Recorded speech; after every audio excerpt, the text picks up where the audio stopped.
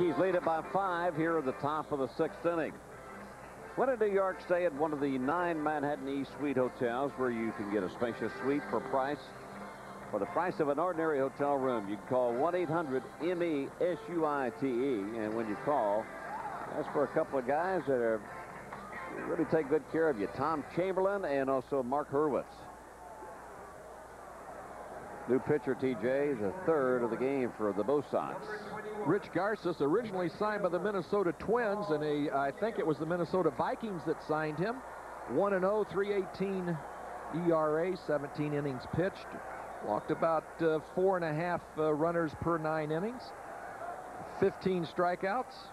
Rich Garces at one time was one of the better pitchers that the Twins had in their organization. He was, they were really high on him. O'Neill leads it off here in the sixth. He is 0 for 3.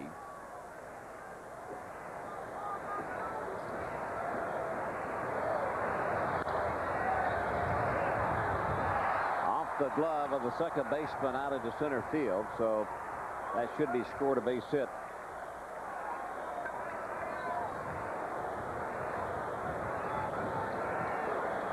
Merloni going to his right and has to backhand the ball and catches it about ankle high and then kicks it out of his glove.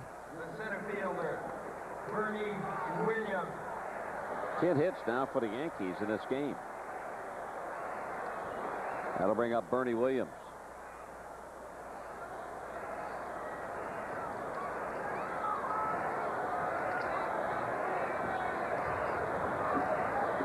Well, on a beautiful afternoon, I think it's the same weather that we have here in Boston as they have back in New York. And I would suspect that probably a few people out uh, you know, grilling some hamburgers and some hot dogs and enjoying the game and enjoying the, the uh, beautiful sunshine. Beautiful holiday weekend. They got a long weekend. Probably some guys in their golf carts that are driving around playing golf that have the television sets on and tuned in to the WB11. Maybe one under par at this particular time through 12 or 13 holes. And there's some sunshine out here, and obviously uh, it's tan time. Hopefully they have some sunscreen on. The place to be on those sunny days is uh, right back up underneath that scoreboard. Nice shade. Close to, to the concession stands. Up high for a ball. Now it's one and two.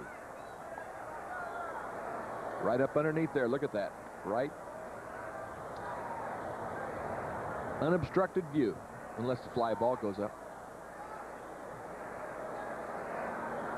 Maybe we might do an opening. Uh, we, we, could tape an opening from out there sometime.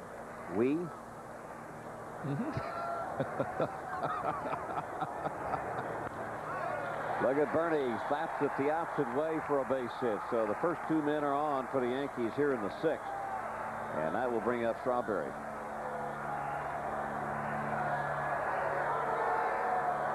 Garces throws a high fastball. Obviously, you want the ball down. But Garces got it high, and that just lets the batter level on the ball. See Bernie hitting with a firm front side. Out over the plate, drove the ball to left field. They will put the shift on again for Strawberry on a in a double play situation. But they can't move the third baseman over as far as they want to, as they did with nobody on. Because if that's the case, the runner on, uh, it, it, would be a foot race between O'Neill and Valentin, and who's going to get to third base. So he's got to stay someplace He's got to stay someplace close towards third. Now the shortstop is going to move back on to the other side of the second base side. You got to do something to hold the runner on, yeah.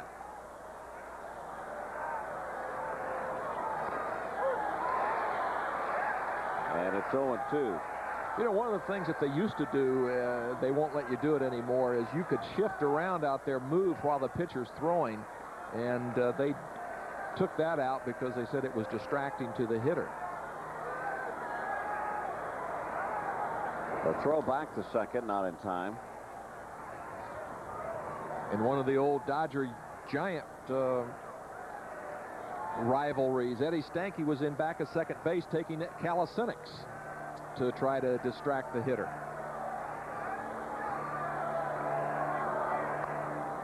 You mean uh, taking jumping jacks? You know, jumping jacks jumping and all that stuff out Yeah. there. Uh, Kind of like they do at a professional basketball game. like when they wave the behind little. uh, the the goal. yeah, yeah. That's. Uh, but they said that uh, you can't do that anymore. Once you're in the position and the pitcher goes to pitch, you have to stay at that position.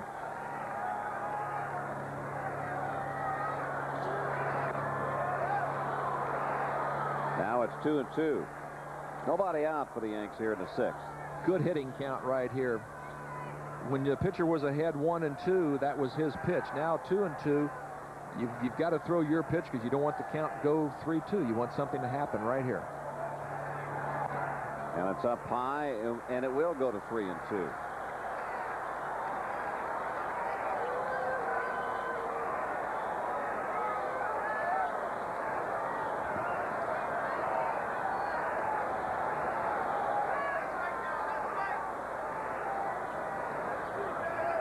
will hold. Chopped towards Mo Vaughn at first, and his only play is a step on the bag, but meanwhile, the runners will move up to second and third.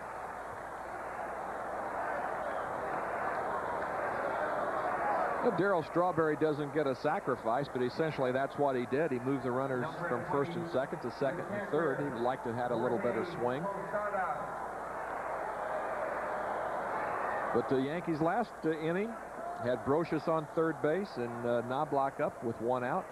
He flew out shallow to left field now with runners on second and third. They're going to walk Posada and get the Chad Curtis. Well, Posada was the guy that they pitched to in the fourth inning when they intentionally walked Strawberry. So now he gets the free pass so that they can load the bases up and pitch to Curtis.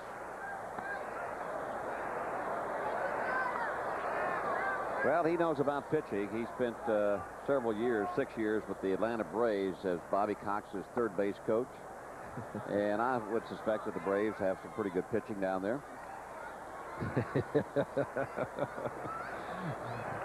If you had to classify in your day, TJ, uh, uh, four starters like the Braves have been throwing out there for several years, the Smoltzes, the Glavins, the Maddoxes, uh, who would you pick that had uh, four starters like that? Um, well, we had a pretty good staff uh, with the Dodgers. Uh, Andy Messersmith, Don Sutton, uh, Claude Osteen, Al Downing, myself.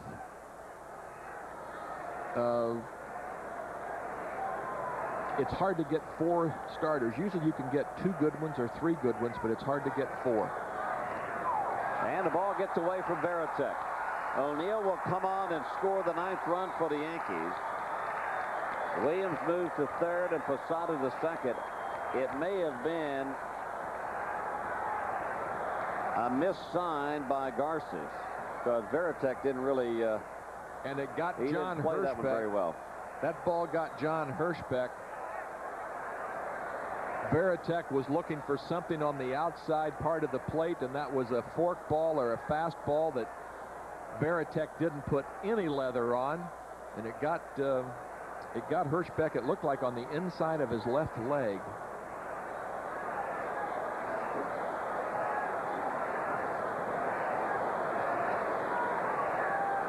He doesn't even put leather on it. And that gets him right on the, looks like on the thigh or, or the inside of the thigh.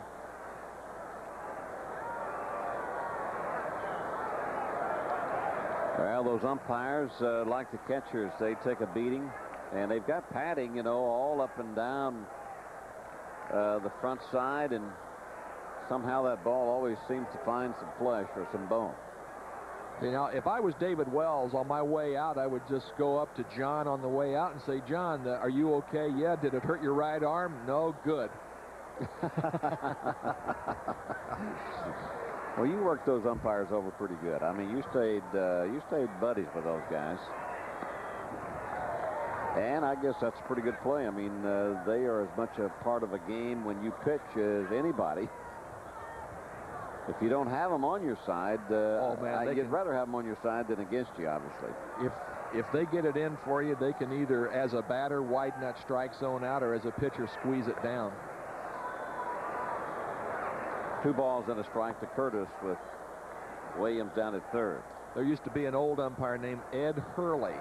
And when you came into the league, he would test young pitchers out, would call a pitch right down the middle of the plate, a ball, and just see how you reacted on the mound. And if you reacted positively, he would be a good umpire. If not, you couldn't throw the ball in a cigar box, and it would be a...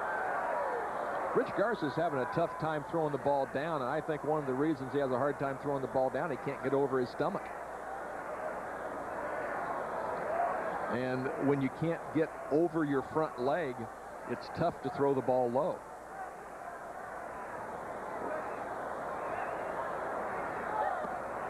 Outside ball four. The bases will be loaded once again.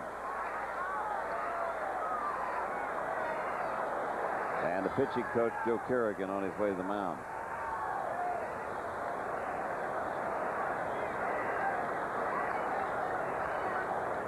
Joe Kerrigan can give us words of wisdom. Joe Kerrigan, the pitching coach with uh, Montreal for quite a few years. Worked under a pretty good manager up there, Bobby. Felipe Alou. Yeah.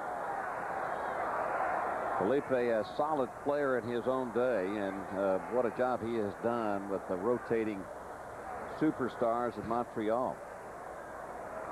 Number 18, the third baseman, Scott Brosius. I'll tell you this, uh, going back to your, um, there's Pedro Martinez. You know, you were talking about was there four pitchers? Yes, the Baltimore four pitchers, McNally, Palmer, Cuellar, and Pat Dobson. All won 20 games in one year. Well, Brosius is perfect for the day. He is three for three with an RBI double. Like for uh, Brosius like to be four for four right here, do some damage, maybe hit the ball in the gap.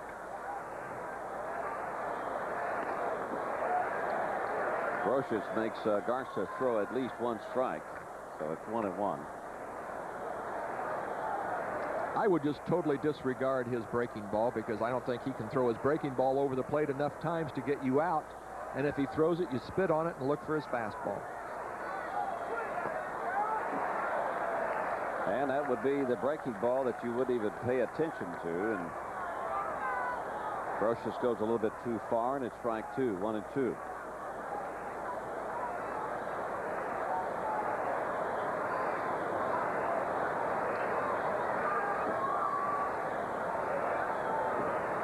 Fastball inside.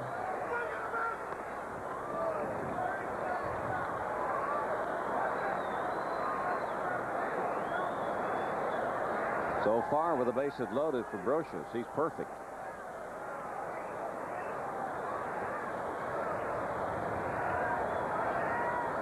Going to go fastball in again, I believe, here.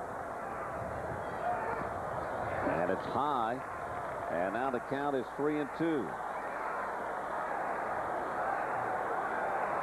Nobody warming up for Jimy Williams and the Red Sox. He's going to drop a breaking ball on him here, 3-2. Oh, boy, if he does. Now, that's the only pitch that he's gotten close to the plate. and the breaking ball up high, ball four, and Garces will walk a run in. Yankees lead it 10 to 3. He hasn't come close to throwing a strike with his fastball, and his breaking ball was the only thing close to coming to the plate, and that was a wish pitch. He wished it over the plate instead of throwing it and uh, left it high. I think uh, when Joe Kerrigan came out to talk to Garces, he, he carried a, a big 25-pound ball and chain, and it's staked right to the mound because he's going to be out there. Sometimes in games, a- pitcher, one pitcher has to take the brunt of the infliction because you've got to save your bullpen. And there's a game tomorrow, and you you don't want to go through five or six pitchers in a 10 to 3 ball game. And that's why sometimes you look in the paper and you see one pitcher gives up eight or nine runs. You say, how can they do it? just like this. One ball, one strike to Sveum, who's the ninth place batter. Sveum 0 for 3. Posada at third. Curtis down at second. Dan Brosius on at first. So Ducks on the pond. And it's two and one. I heard that term someplace, Ducks on the pond. Thought I'd use it here. During these kind of games, you kind of bring out everything that you have, you know. Inside, ball three, three and one. That's about all I have, so if you got anything, Tommy, just throw it in there. Well, you know the the cliches that you got to throw out in games like this on the on the bench. Was that a cliche? Yeah, just a little. 3-1 pitch popped up with a broken bat. Infield fly rule is called, and there's two gone.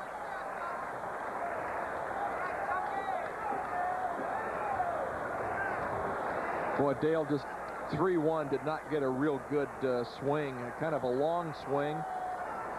He got jammed and popped the ball up. This is a right here you could blow the game wide open. And, and when you got the team down and you've, you've got this ball club struggling, you got them reeling, well, you go for the knockout punch. You get the base hit, a double right here, and, and, and you just take it to them and take the wind out of their sails. Well, knockout Knoblauch is up right now. He hit a grand slam back in the second, so he's got a chance for two grand slams in this game. Tie himself with Tony Cloninger. Two home runs in one ball game. One of very, very few ball players have two home run, two grand slams. I mean, in one ball game. And TC, the bullpen coach for the Yankees. That's a 1-1 pitch. Very unlikely. What a trivia question that is. You know. Uh, uh, two grand slams for the Yankees in uniform. In uniform, that's right.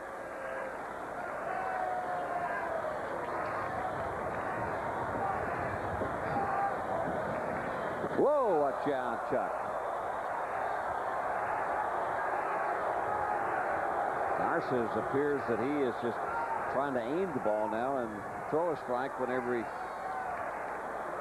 So he, he just he just out there wishing. Uh, like I said, he he wished that curveball, and and that is he just throwing the ball and. And a breaking ball outside, ball three, three and one. There's Tony Cloninger. Pretty good pitcher in his day yes, too, sir. Bobby. I'm telling he you. He could get her up there. he was a pitcher, but he ended up hitting uh, two grand slams in one game. just got underneath it. High fly ball. Center field. The wind got a hold of it, but Lewis is there. So Garces gives up a couple of runs here in the sixth for the Yanks. Bottom of the sixth coming up. They lead it by seven. This copyrighted telecast is authorized under rights granted by the New York Yankees solely for the private, non-commercial use of our audience. Any publications, reproductions, retransmissions, or other use of the pictures, descriptions, and accounts of this game without the express written consent of the New York Yankees and WPIX is prohibited.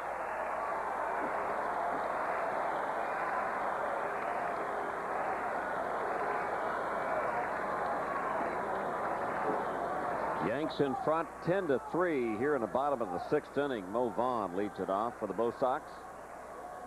Mo uh, eighth on the uh, Boston Red Sox all-time home run list. Number seven is Rico Petrocelli. We were talking about him. Rico with 210. First pitch inside and low to Vaughn. So you think Vaughn will end up in Baltimore, huh? Well, if Palmeiro is gone, and no, if he's going to leave here, I, I think Baltimore is a uh, is a good choice. He hits well in that ballpark, but then if you're alive, you can hit well in that ballpark. I think the Red Sox will sign him. I think the Red Sox should sign him. Yeah. Because I would hate to see.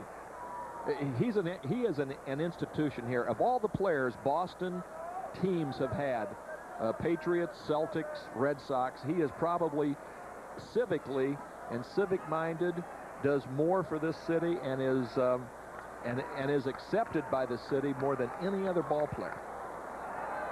He does a lot for the kids, and he's a uh,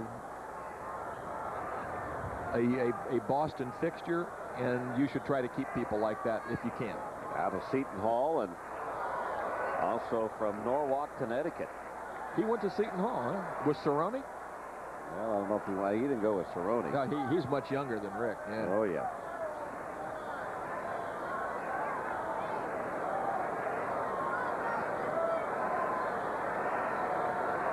Mo would have been good with that aluminum bat, too. Oh. Down low, ball three, three, and two.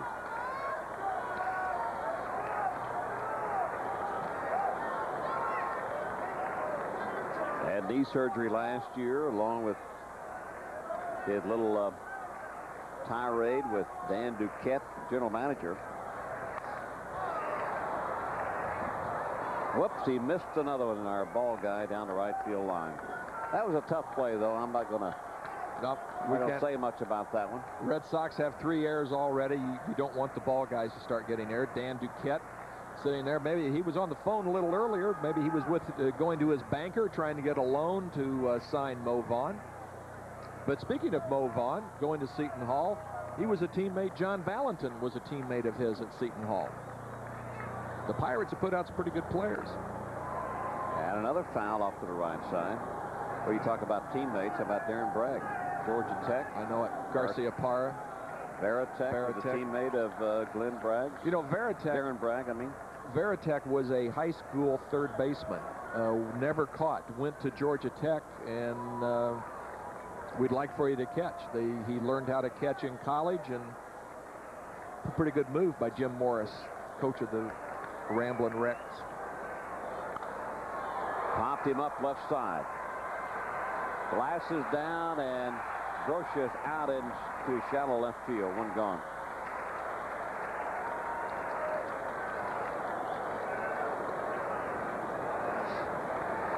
Mo Vaughn has that uppercut swing, but you can see he really, when you throw the ball outside, he really likes to get inside and drive the ball to left field. That's why he, he is tough in this ballpark, because if you pitch him in, he can pull the ball, but if you pitch him away, he just takes it off that left field wall, and you've got to be kind of lucky to pitch to him outside. That or you got to have a good fastball. DH Jim Leyritz steps down with one out. Well, you know, when you have that uppercut swing and if your timing is off at all, your bat is slow through the strike zone, and most of the time you'll have to hit the ball left field. Uh, Jim Rice, the hitting instructor for the Red Sox, wants Mo to use his hands more. Mo, use your hands more. They did it again. I can't believe they it. They did it again. I cannot believe it.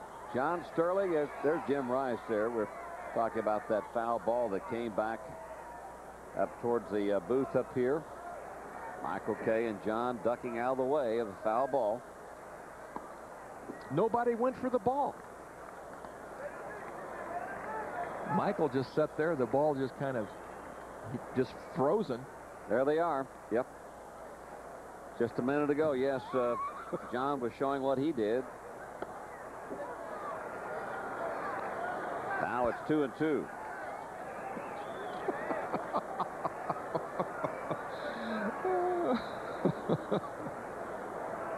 yeah, oh, sure, yeah. Mm -hmm. They're just to the uh, side of us here on the press level. That'll scatter some Yankees on the left side. I don't know about you, TJ, but when those foul balls uh, come our way, I'm I'm getting out of the way of it. I'm not a hero anymore. I'm not going to challenge him. I didn't challenge him on the mound. Why would I do it here? I don't have true. a glove.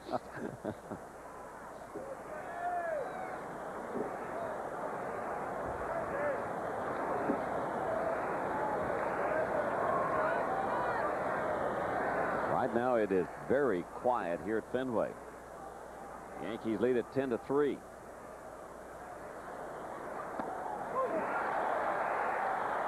Right down Broadway, and Leyritz has struck out for the second time in the game. Strikeout number five for Wells, and there's two gone. Jim Leyritz shaking his head. No, that's not a strike. Jim, that was a strike. Now, I know you don't think it was. My heavens. He's looking there. No, there's no way. It's not low. It's not inside. It's not outside. it's a strike. Troy O'Leary takes one uh, low for a ball.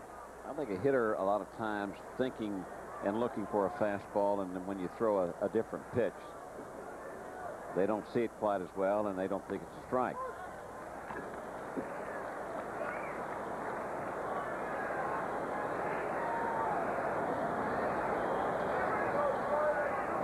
One for two. Hit hard, but Jeter is there to snag it. And the Red Sox are gone here in the sixth inning. Six have been played. Yankees lead it by seven. For up-to-the-minute scores and highlights, plus your complete WB11 Yankee broadcast schedule, check out Sal Marciano's scoreboard on the WB11's website. Visit the www.wb11.com.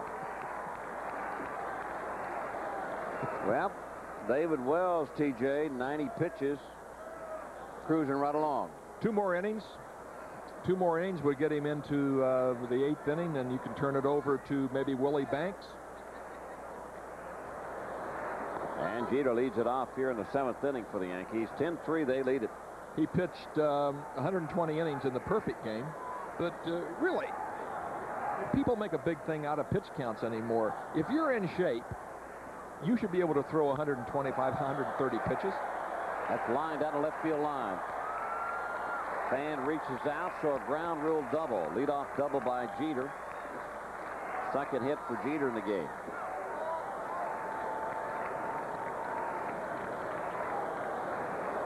And Jose will lighten the load over at first base. Good extension by Derek Jeter right there. And you see a little fan interference here. Ball bounces up and a fan reaches over, catches the ball. The umpire clasps his hands over his head, and that means fan interference.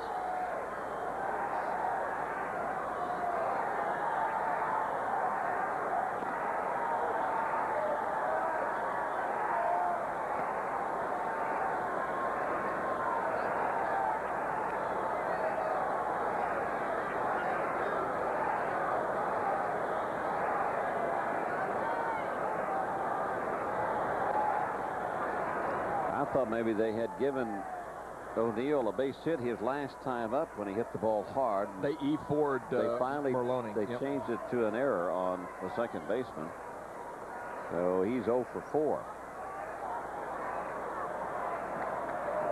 Hall is not going to like that. He said, I got to put up with John Hirschbeck and a tough score. Yeah. and it's a bright, sunny day. And now it's one ball, two strikes on O'Neill. So the thing about this Yankee ball club, every game it's somebody else comes to the rises to the occasion.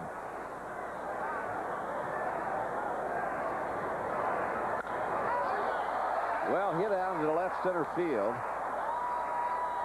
Lewis on the warning track. Jeter will tag and go to third. So even though the Yankees are in front by seven, leading at 10 to 3, the Yankees still hustling on a base pass. Yes, it is. Paul O'Neill, that little leg kick. And he just kind of, you see him kind of look down and toss the bat. He knew that he got just underneath it enough. He didn't really center the bat and the ball.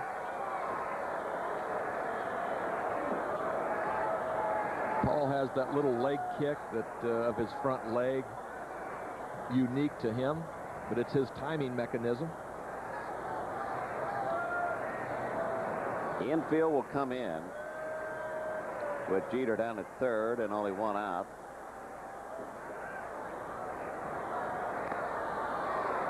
Bernie two for four this afternoon.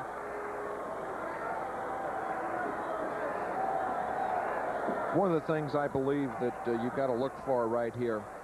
You lost a ball game last night, five to four, in a game that you were up four to nothing. And like I said, when you get a ball club down, you want to pound them. If, if you can beat them 15 to 3, you just want to let these guys know, hey, you may have won the game last night, but we're better than you. And now, you know, you, you, you aren't out there bunting and, and, and stealing and things like that, but you're just keep pounding the ball, keep pounding the ball, moving runners over. Try to get the ball. Just to let those guys know, okay, you won, but we're better than you are. Chopper Mo Vaughn at first base getting up high. So the runner holds at third and there's two gone. Tell you, for Mo's big size, he makes some pretty athletic plays once in a while. Now, a lot of ball clubs will go on contact, and um, the old Cardinals, Whitey Herzog Cardinals, with Lankford and uh, Ozzie Smith and Oquendo and guys like that would go, as soon as that ball hits the ground, they're off towards home. And Mo Vaughn had to jump. Mo might have gotten net on that one. So Strawberry will try to knock in Jeter at third. The shift is on once again. Nice stop by Varitek.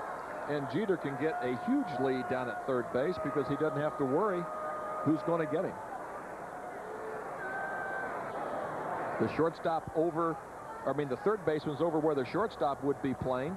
A pull hitter, a left-handed pull hitter, and uh, Derek can get down 30 feet down the line if he wants to.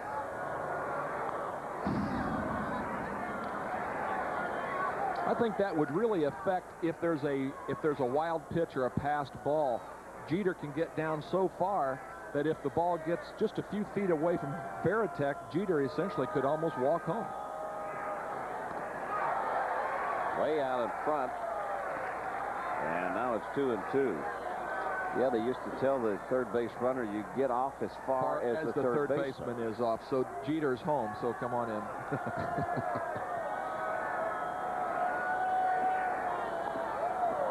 now it's three and two.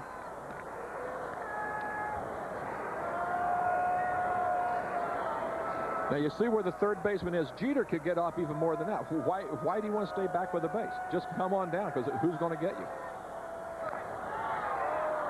And really, as wild as Garces is and as uh, Varitek has, has shown that uh, he can mishandle balls back of home plate, man, I would get down there a whole lot farther, Bob. And I don't think that if Jeter, if he came down three quarters of the way to the plate, Garces could catch him if he tried to go back to third or try to race him back to third. Well, Jeter could if he had buffet written on him. Another chopper foul off the right side. Come on, Jose, get down. Yes, sir. He, Look at that. Jose he, got well, down two, two, two times What now. happened, though, he had lightened his load up because uh, when the runner got on, he, he, he gave some things back to the runner. So he's not as heavy as he normally is at first base with gloves and, and uh, shin guards and things like that. Hit down the right field line and smoke. It's in for at least a single. Jeter comes on to score. And another fan interference and a ground rule double. The Yankees lead it 11 to 3. Whoops, watch out. Oh, Darren Bragg went over. And that lady was trying her best. But she doesn't come up with it. That ball was smoked. And now, this is fan interference. Now, they don't have to give Darryl Strawberry two bases. You see that young lady right there trying to get that ball. She almost fell out right on her head. And they reeled her in like a fish. They asked the fans not to reach over and interfere with the ball that's in play. I don't know if it's just instincts or what when fans are along the lines there that they have to stick their hands out.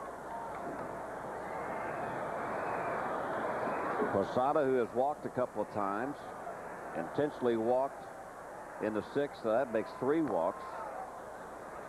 He scored and picked up an RBI. But on that play there, the umpires could have given Darryl Strawberry any base they wanted. They, they could have given him third base if they thought that he could have gotten a triple on the ball. It's, uh, it's not an automatic double. It's where they think you would be if the fan did not interfere with the ball and they pointed to John Hirschbeck pointed to second base.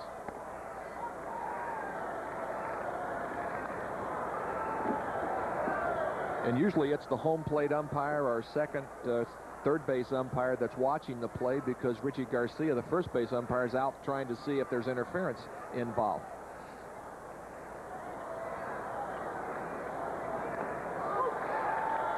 Breaking ball in for a call strike. So Posada is gone. The Yankees pick up another here in the seventh. They lead it 11 to 3. Bottom of the seventh. Yankees 11, Boston 3. Let's take a look at some of our out-of-town scores brought to you by Nissan. 7-2, Toronto leads it over Cleveland. I think uh, Mike Stanley's hit a couple of home runs in that game. That's in the seventh. Colorado leading Cincinnati 3 to 1.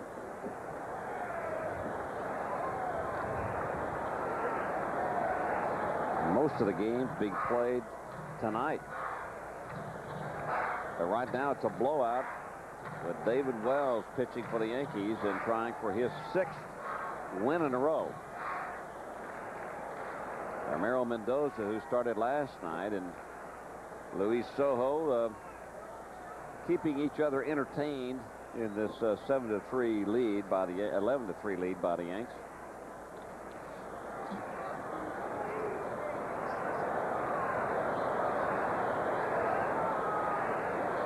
There are two fans in the blacked out area, and that was why uh, John Hirschbeck went to both uh, managers to say that they aren't going to start the game until they get those guys out of there.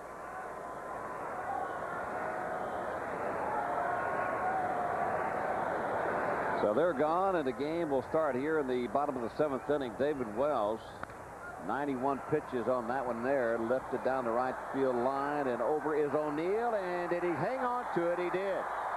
Good play by O'Neill, who was getting close to the wall. And there's one gone. John Valentin can't believe it. He thought at least he would come up with a base hit. And Paul O'Neill made a sliding catch. That's the only way you could make a catch right there unless you want to be a, a splatter mark on that wall because you're charging as hard as you can and, and you, you can't pull up that, that quickly and still catch the ball. The only way is you, you make the slide. Paul O'Neill did it. Mike Benjamin stepped in, and the only way that you can actually make an attempt to catch a ball like that is to have 11 to 3 lead. Because that ball gets by O'Neill. If he doesn't put leather on it, it's either in the stands or it's rolling around in right field. It's probably an inside the park home run.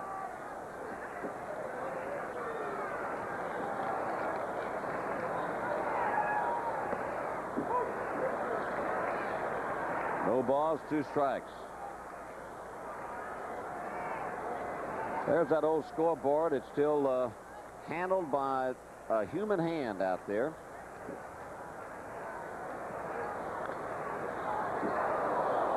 Obviously, that hand will be attached to a human being.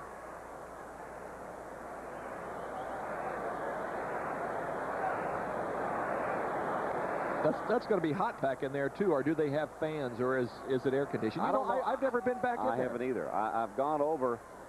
You see where the camera is down by the ball, the, in between the ball and the strike. I've looked in that area before, but I couldn't see a whole lot. Inquis inquisitive person that I was when I played left field here at Fenway. Nobody ever invited me to come in and look around and utilize uh, putting up numbers. Talking about putting up some numbers before his sixth win.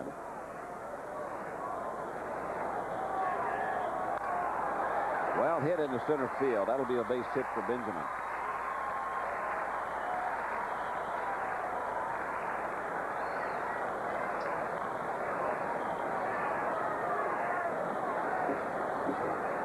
Now you see our camera. Is he going to pan inside the scoreboard there to give us a uh, inside look? Well, that's the look that is coming from the scoreboard camera. So that'd be the low-level left field view. That's what the left fielder is seeing. Hmm.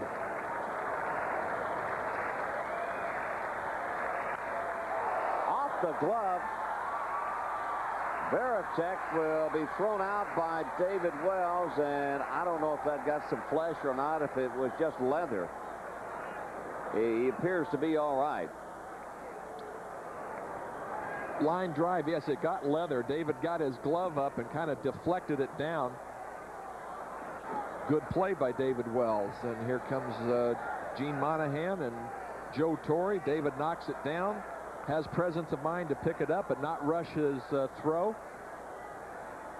And I actually thought I saw a little smile on uh, David's lips after uh, he made the play. An old surfing uh, guy on the beaches of uh, Southern California, he, he's wiped out on waves tougher than that ball right there. wow, did you see that? Wow. now he knows how uh, Andy Pettitte, Graeme Lloyd now will begin to throw in the Yankee bullpen.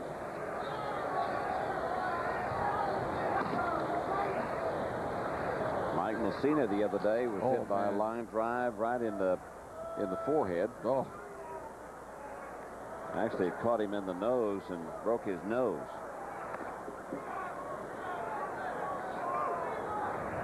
Merloni.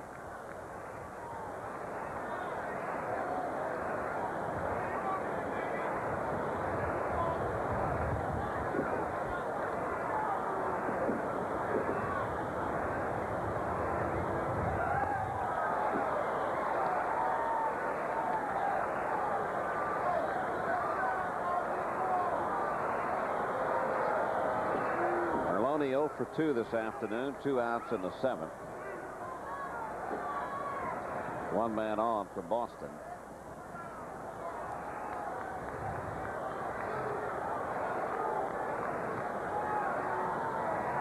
You know what that does, uh, throwing the beach balls and all that stuff out, it just gives David Wells a chance to compose himself. If he, if the adrenaline was pumping after that uh, line drive up the middle, it, it gives you a chance to calm yourself down and start making good pitches in the outside corner.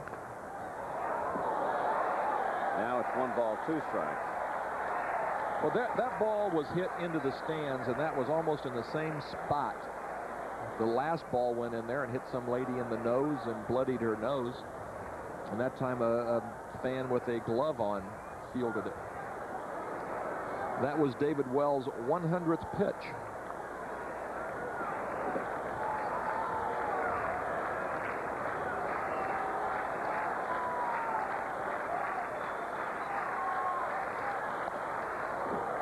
Inside for a ball. Now it's two and two. You know, with this big lead, what uh, what Joe Torre can do, Torre uh, Wells gets out of this inning with let's say 103 or four pitches. He's going to pitch again Thursday against these same Red Sox. So you take him out now and, and you let him be good and strong for his next start. Now, if, if the game were six to three or five to three, you, let him pitch into the eighth or, uh, inning and then turn it over to the bullpen. Or turn it over to Rivera. Now with uh, with an eight-run lead, you got 105 pitches or so. You let Graeme Lloyd because he's got to serve his three-day uh, starting Monday.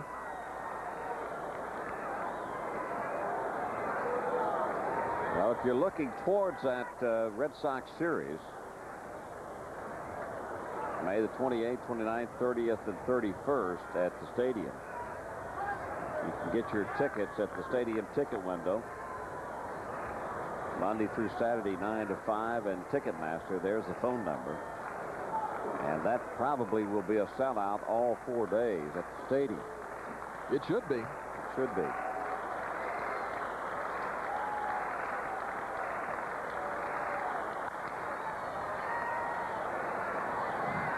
Jeter is short to throw out Merloni. Red Sox lead one man on. David Wells is cruising, and the Yankees lead it 11 to 3.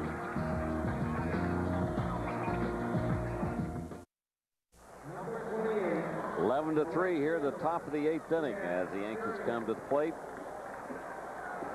And David Wells getting some handshakes in between innings. Only 102 pitches thrown. There's Mel Stottlemyre over. That may be all for him. Do you think that's That's all for Wells. I I think it uh, I think it is. Um, because you've got a huge lead, you can uh, let Graeme Lloyd get some work in because, like I said, he has to serve his three-game suspension, and he'll get some work. And uh, now you have a, a, relatively rested David Wells coming Thursday against the Red Sox at the stadium. This is Chad Curtis, who's two for three with an RBI. Well, you talk about the suspensions. Darryl Strawberry was the first to serve his. Lying sharply in the left field for a base hit by Curtis. But the suspensions uh, after two days, on a three-day suspension by Strawberry, he appeals the uh, third day. He gets a chance to play last night, and tonight we'll see what happens tomorrow. Uh, they'll probably have a hearing tomorrow, and he'll he'll take it when they're in uh, against the White Sox. And you see what Chad Curtis does to a high fastball. It's called a rope. That's called a rope. And Brosius, who is uh, perfect so far lifts one down the right field line and it will curve foul. Brosius three for three. And Strawberry still has one more day left on the suspension. He he could serve that tomorrow. Well, they have to have a hearing, I, I think. Unless he waives it. Unless he waives it. He may be able to waive it. And then soon as uh, Strawberry is through with his suspension, the next in line is Lloyd with a two-day suspension, and then uh, Jeff Nelson after that. So there may be some strategy behind uh, serving the suspension and when the time frame is and when you appeal, etc. We'll just have to see how that plays out. Were you ever suspended, TJ? No. Brosius has gone on strikes. And Steve Avery now begins to warm up for the Red Sox. Well, there is a guy that uh, was on top of the world when he was with the Atlanta Braves and opted to uh, move on. And he just has hit on hard times. He started out with an injury, and then he changed his motion slightly, and now he's got to try to get it all back together. Dale Sveum Strike one to Sveum. And Jimy Williams, I believe it was last year, uh, Avery had a chance, uh, had one start. If he starts it, uh, he gets a huge uh, salary kick in for this year. But he gets a renewed uh, contract. contract for a year. And Jimy Williams started him, and there was no uh, there was no reason to start him because they weren't going anyplace other than he thought that he deserved to start.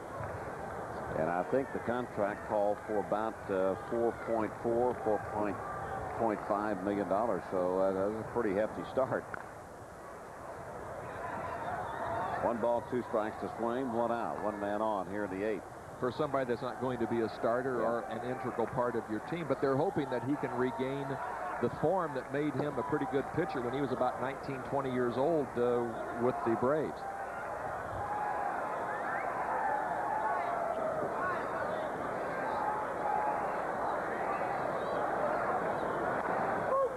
Good pitch by Garces outside corner strike three, two gone.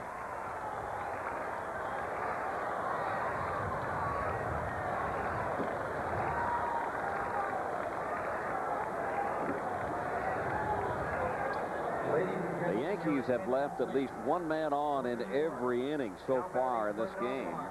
They've scored 11. And now pinch hitting for Chuck Knoblauch. Luis Sojo will get some playing time. Dale Sveum up there at the bat in 11 to 3 game. You can't you can't take anything close with two strikes on you.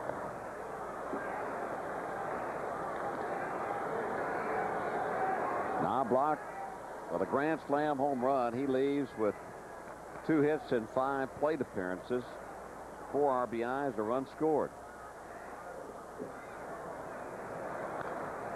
And a foul back and out of play. Now it's 0-2 on Sojo. Sojo was hit in spring training by a pitcher and uh, broke his metacarpal on the left hand, and so he started the uh, 98 season on the disabled list.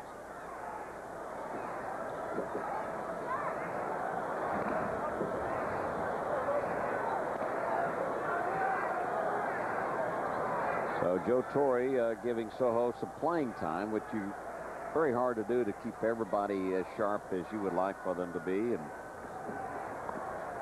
take advantage of situations such as the one that we're in here now with an 11-3 lead. When you get a blowout either end, you're winning or you're losing. That's when you can get your bench players in, get them some at-bats, and keep them relatively sharp. And that's tough for both managers, Joe Torre and Jimy Williams. You want to give your starters as much playing time as you can, but uh, those guys on the bench, every once in a while, you've got a tough, tight game, and uh, you'd like for them to come in and pinch hit for you. That's tough if they haven't played in 25 days. Runner takes off, 3-2. And it's a pitch on the outside corner, one of those questionable pitches. So the Yankees are out here at the eighth, but they lead it by eight. And Graeme Lloyd is the new pitcher. Graeme Lloyd coming in, getting a chance to um, get some work in before he has to uh, go uh, serve his suspension. And it's a good time. You can come out there, you can freewheel, you've got eight runs. You don't have to be really perfect. Just got to throw strikes because I'm telling you, Hirschbeck has got right now, he's got a wide strike zone. He's in his 13th game, nine and two thirds innings pitched, one walk. Graeme Lloyd is a pretty good pitcher for what he does. Come in, get the left-handers out. And I'll tell you, he's not too bad against some right-handers. Yankees are 23 and 7 when the starter goes six innings. Two balls and a strike to Darren Lewis, the leadoff man for the Red Sox. He's grounded out two times and flied out, so he's 0 for 3. 11 to 3, the Yankees lead it.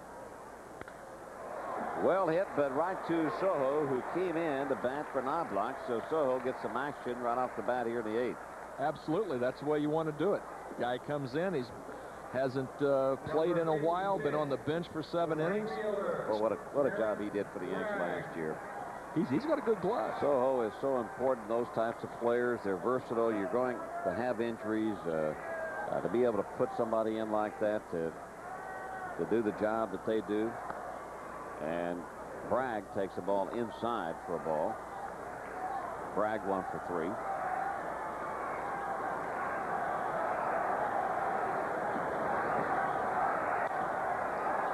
Hits this one out into left field. Curtis comes on and makes a nice catch. Two outs. Well, Graeme Lloyd has not fooled anybody. A line drive Sojo uh, caught off the bat of uh, Darren Lewis and Darren Bragg get a line drive that uh, Chad Curtis comes in and makes a knee-high grab. Nice play by Curtis tell you, that young man does a good job out there.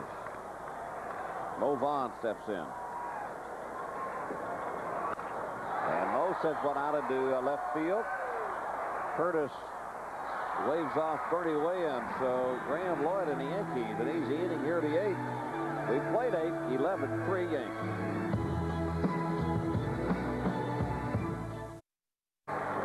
And the Yankees are enjoying the early season ride that they are on coming into this game with a record of 31 and 10. They have 11 to 3 lead here in the top of the ninth inning, and Jeter faces Steve Avery. You know, we talked about Avery when he was warming up, TJ, but what happens to a young man like this? I mean, why does he go from the top to the bottom in such a big hurry? Well, like I said, he, he was injured, and then he changed his motion, and then while he was pitching, while he was injured, he just was getting tattooed and then he lost confidence. And, and now uh, you've got to start back from the start. You've got to start on the motion, and then the last to come is confidence.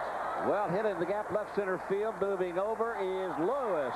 And what a play he made. Boy, did he cover some ground. Very, very, very good play. And that ball, that play was made, but the ball being held up by the wind. And when you when the ball went out, he had no chance. And then it just uh, Darren Lewis, his speed got him right over to that corner. And one of the reasons the Red Sox are a better club in 98 is because of the speed of Darren Lewis and the play of Bragg in right field and O'Leary in left. Paul O'Neill hits it hard, but Benjamin is there to throw him out. So two gone here to top the ninth.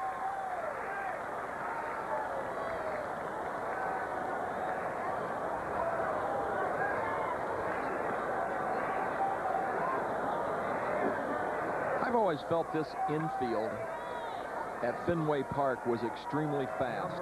They talk about grass infields. This infield is bluegrass, but it's cut relatively short, and the ball just skids off that short bluegrass. And, and sometimes you can get balls that that, that ball that um, O'Neill hit. It hit, and then it really skidded and took off. And it forces the infielders to have play with soft hands. Or bruises, one of the two if you don't have soft hands. Williams takes one up high. That's what was wrong with me at shortstop. My hands were soft. That's right. Bobby Murcer came up as a shortstop. Hideki Irabu says, I went out there at shortstop too. Irabu awaits his start in Chicago.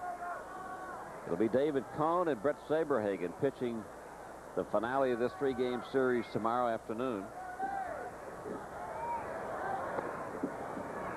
A big good game. A couple of ex-teammates with Kansas City Royals. Bret Saberhagen uh, making a comeback. This is about his third comeback, isn't it? From surgery, shoulder, elbow, all this thing. Ball four to Bernie with two outs. David Cone making a comeback too after surgery Two on surgeries. his. Yeah.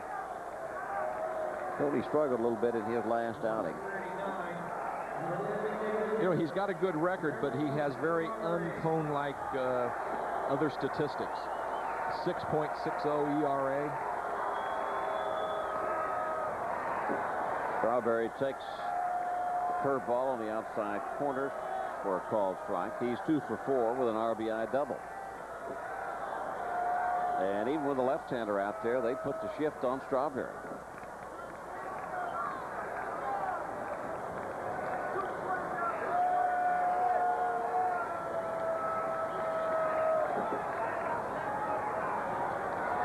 Put the shift on Strawberry the, today, and it's a two for four day for him so far with an RBI. That uh, gets away from Varitek, and Williams will move to second. That was a curveball wild pitch that hit off Varitek's glove and caromed up on top of the screen. Anytime the ball goes out of play like that off the off the pitching mound, it's a one base.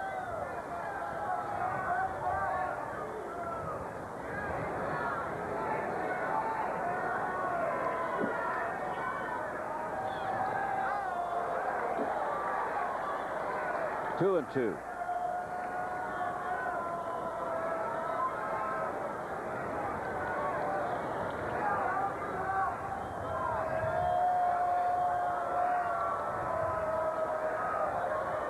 You know, Avery is only 27. He'll be 28.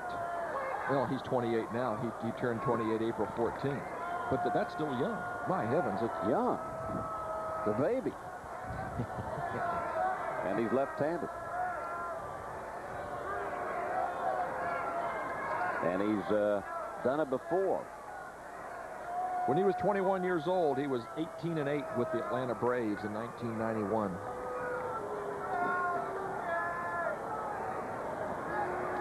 If these guys get tired of him, I would make you a bet that Leo Mazzone would take him back and get him uh, pitching uh, relatively well again. Well hit deep to right center field. Lewis won't catch up with this one. One hops the bullpen, and Darryl Strawberry, shift or no shift, has three hits and two RBIs, and the Yankees lead it 12 to 3.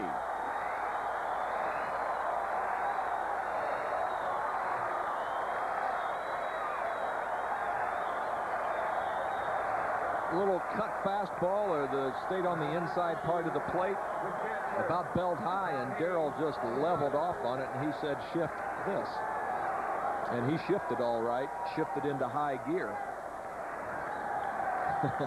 you can shift but I tell you what you can't shift that far And going in to run for Strawberry, Homer Bush.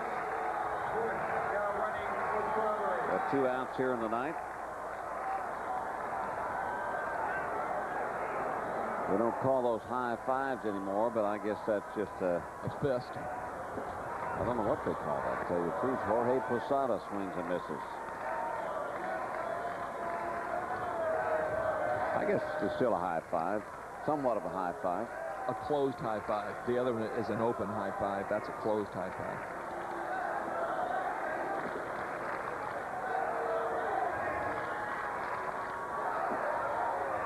No balls, two strikes to Posada.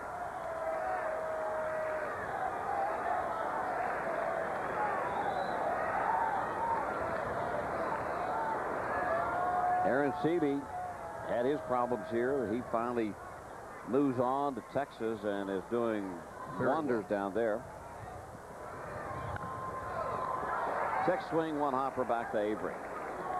Yankees are gone here in the ninth inning, but they do pick up another run, and they've left a runner on base in every inning. They lead at 12 to 3.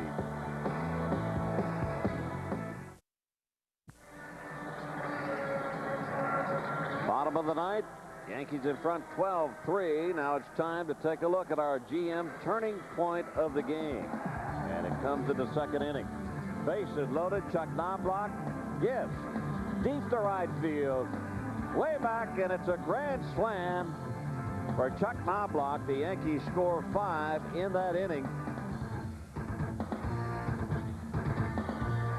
And Knoblauch enjoys that trot around the bases on the grand slam.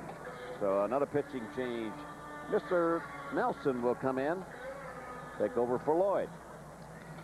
Graeme Lloyd serving his suspension, get, or getting ready to. Jeff Nelson getting ready to serve his.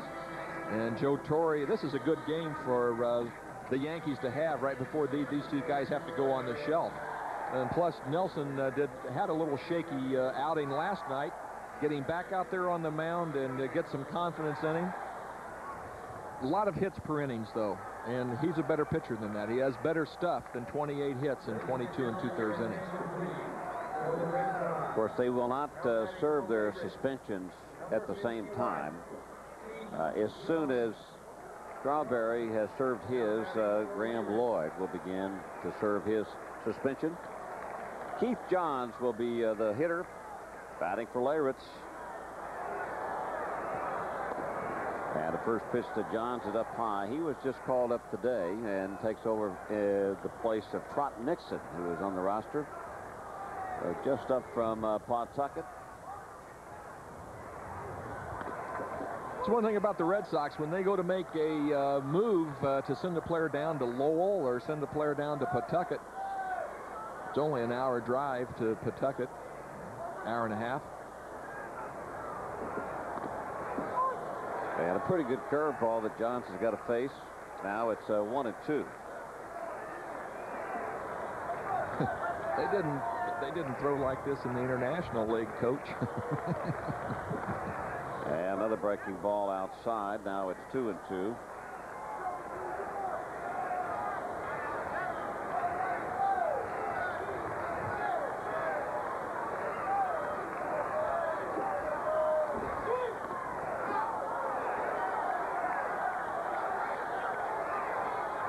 Numbers at AAA for Keith Johns.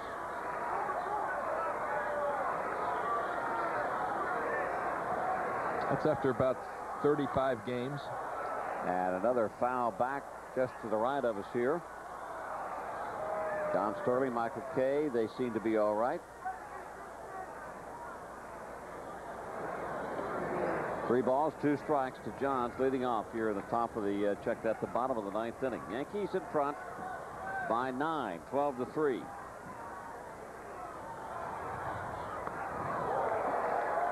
Ball four, the leadoff batter is on.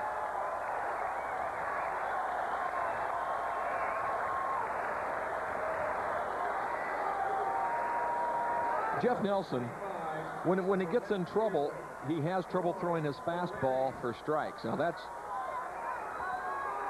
that's unusual, and I'm sure Mel Stottlemyre and uh, Joe Torre uh, trying to figure out what they can do to get him to throw his fastball for strikes because the fastball tails in on the right-handed hitter so well that it sets up the breaking ball, but he gets to where he can throw his breaking ball over the plate and can't throw his fastball.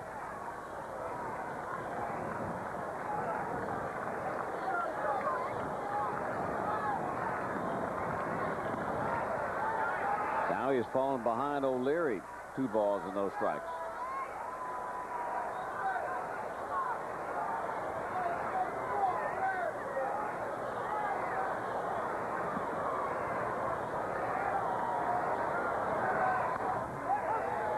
Now it's two and one.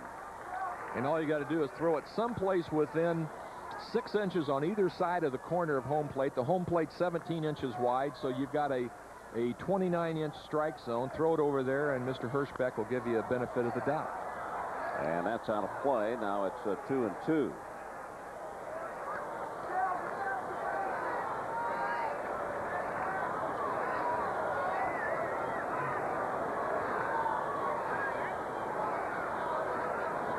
See the shadows now beginning to creep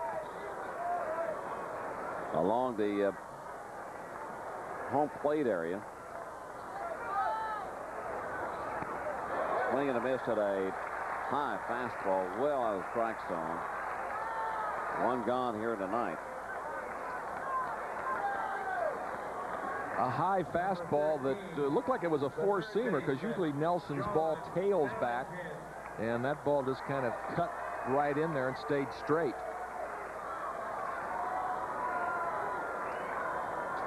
John Valentin hit a two-run home run back in the fourth inning.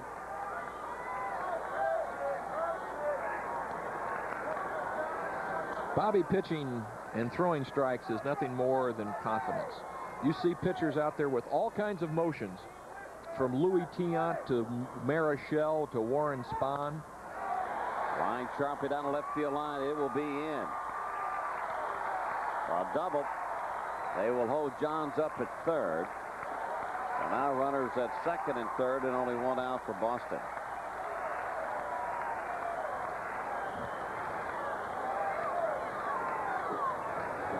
And Nelson threw that sinker in and it really wasn't a sinker. It was a tailing fastball that stayed out on the plate. And Valentin got his hands inside and put the barrel of the bat on the ball.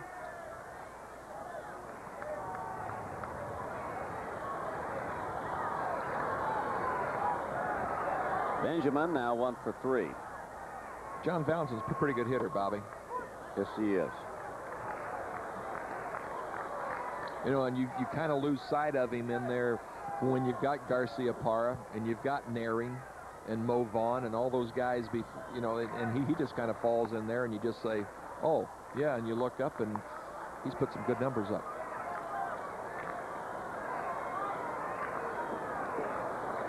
Benjamin playing in place of Garciaparra. Benjamin is a uh, he's a he's an aggressive hitter. He likes it if it's around the strike zone. That's what Jim Rice wants those guys. If the ball looks good at home plate, go to swinging.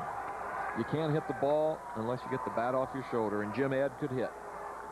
I told him, I said, you know, if you had all the weight programs that these guys have now, think how you would have hit.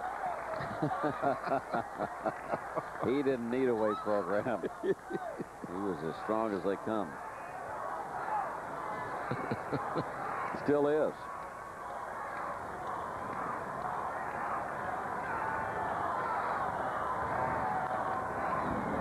Out of play.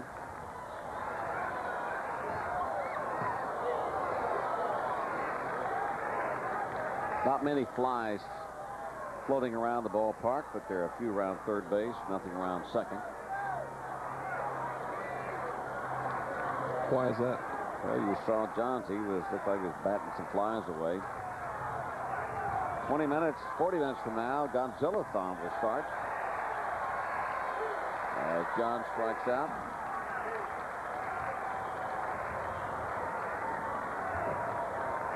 Number 47. Another high fastball, and Jeff Nelson just blew that ball right on by Mike Benjamin.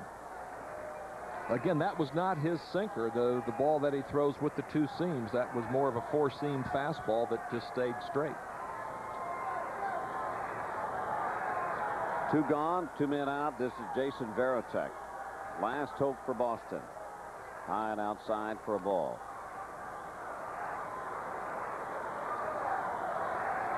I think the, the, the hardest time for a pitcher is when he's out there knowing that the game is out of hand and you're trying to throw strikes the best you can.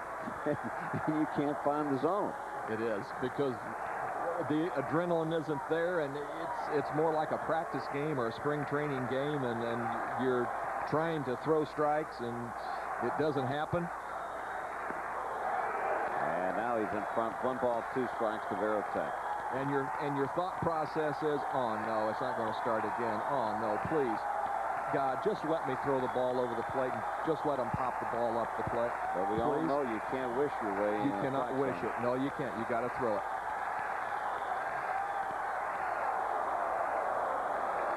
You got to rear back and throw it. The minute you start aiming the ball, one, you can't throw strikes. Two, if you do throw strikes, the ball doesn't have anything on it.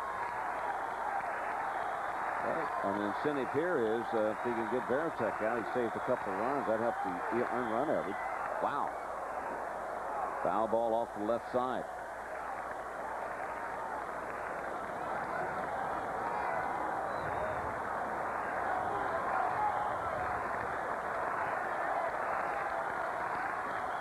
Most of the uh, 33,120 have left Fenway. Official sellout here for the second game of the three-game series. Back up the middle. And this should do it, and it does, as Nelson throws over to Sveum, and the Yankees even it up in this three-game series by winning today's game 12 to 3 and a blowout at Fenway. David Wells started the game looking for his sixth victory, and he will pick up his sixth consecutive victory in a row. We'll be back with a wrap-up as the Yankees win it by the score of 12 to 3. Stay with us.